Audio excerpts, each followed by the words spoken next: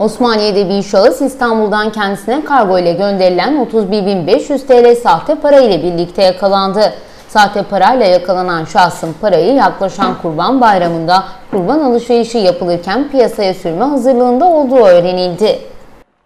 Alınan bilgilere göre Osmaniye İl Emniyet Müdürlüğü Kaçakçılık ve Organize Suçlarla Mücadele Şube Müdürlüğü ekipleri İstanbul'dan bir kargo şirketi aracılığıyla Kadirli ilçesine ikamet eden bir şahsa sahte para gönderileceğini ve Kurban Bayramı'nda kurban alışverişi yapılırken piyasaya sürüleceği bilgisine ulaştı.